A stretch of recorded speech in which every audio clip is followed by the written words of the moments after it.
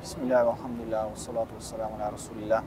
Очень многих интересует вопрос о том, э, можно ли сюда приехать учиться. И э, ребенок, парень, закончивший 11 класс, может ли он сюда приехать учиться? Да, конечно, может. На все воля Аллаха. Но надо понимать, что э, исламский университет в городе Медина – это университет, который хотят мусульмане всего мира.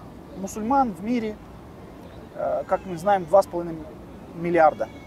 И во всех точках мира все знают Исламский университет Медины. Исламский университет Медины внесен э, в книгу Гиннесса по количеству, по количеству иностранных студентов, по количеству стран иностранных студентов. То есть ни в одном университете мира не учится студентов из такого разнообразного количества стран, как из Медины.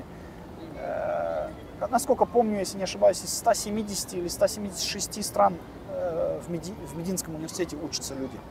Представляете, да?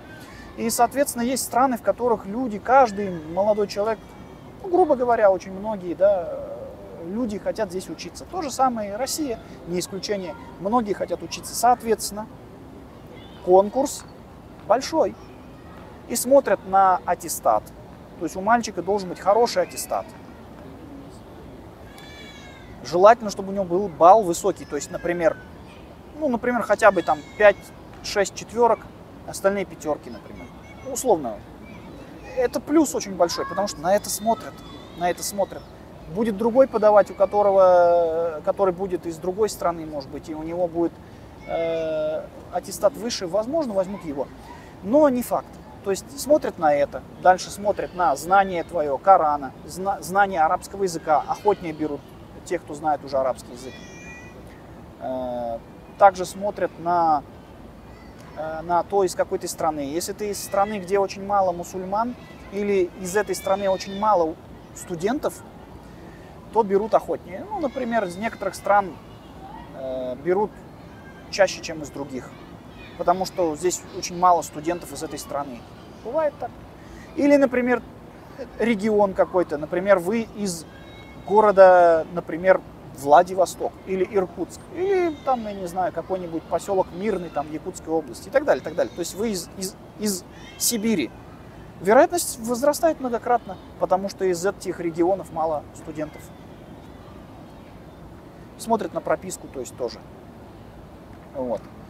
Но это общие такие административные знания, так скажем. Теперь самое главное –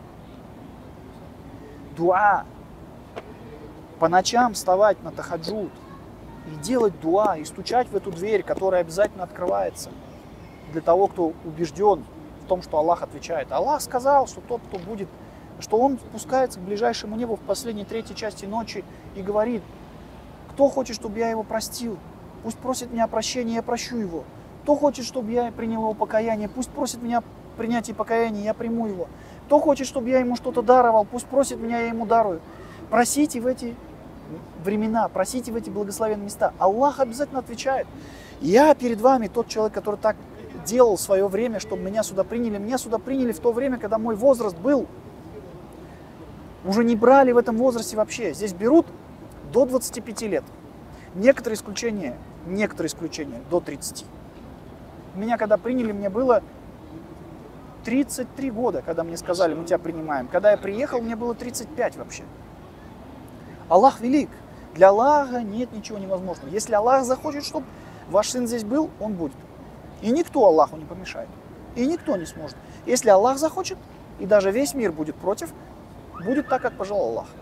Поэтому делайте дуа, э, надейтесь на лучшее, не уставайте, не переставайте, не опускайте рук, не теряйте надежду, не думайте никогда плохо об Аллахе и никогда не думайте, что Аллах не отвечает.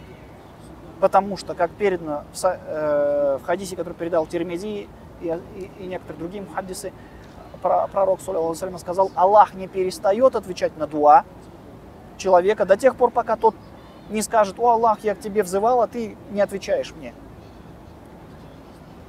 И спросили, что значит вот это, я к тебе взывал, а ты не отвечаешь мне.